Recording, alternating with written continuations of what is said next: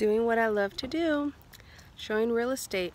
We are out here in Fallbrook showing some uh, piece of land. A little over two acres. Okay, my client's here. Talk to you guys later. Bye.